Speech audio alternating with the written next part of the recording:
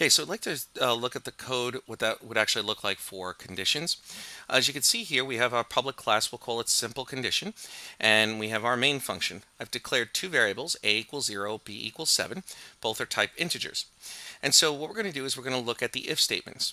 So in the first case, I have if a is less than b, and we're basically doing a normal uh, Boolean expression of is a less than b. In this case, 0 is less than b. 0 is less than 7. And so it will print out that a is less than b.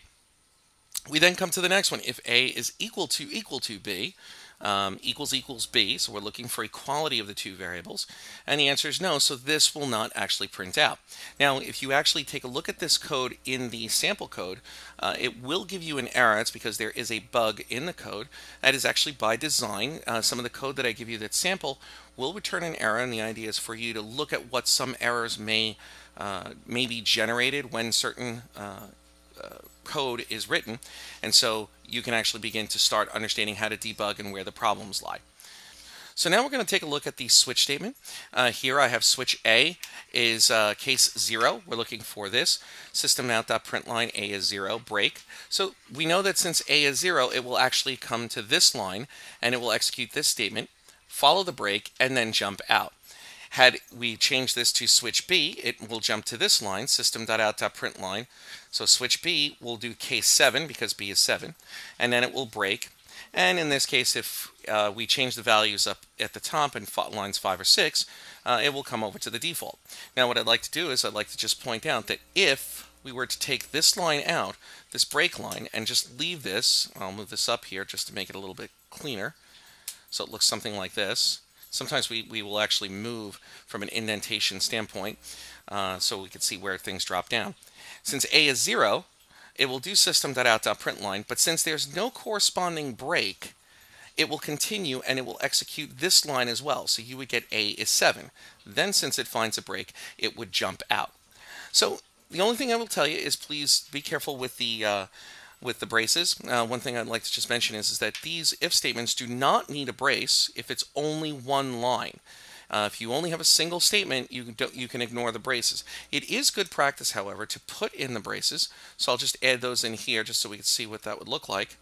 And the statement might look like this. And I can add as many lines as I want. Uh, system.out.println, hello, and so I can continue doing this as many times as I wanted to. Uh, if I wanted to make an else condition out of this, I would just add an else. I might put uh, the set of braces there. And you'll notice that inside of this else, I have another if condition. So I can then do these nested ifs. If such and such, if such and such, if such and such. And you might end up with nested ifs that look something like this.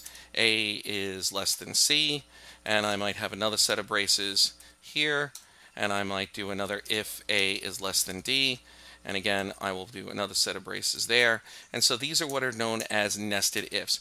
It's always a good idea to begin lining up your braces. There are two ways that uh, people generally like to do braces. One is to put the starting brace on the same line as say the if for which you'll deal with uh, uh, loops and iterations very shortly. Another is to put the brace on the line below and then match up a corresponding brace uh, in a similar line on the same column. Uh, my personal preference is I prefer to actually put the beginning brace uh, at the end of that line and then match the last line or the last brace to the corresponding command. What you'll also see people do is they will also add comments after the last brace and I might do something like end if a less than b so that I know exactly which brace belongs to uh, which set of conditions. So that's going to conclude this example for conditions.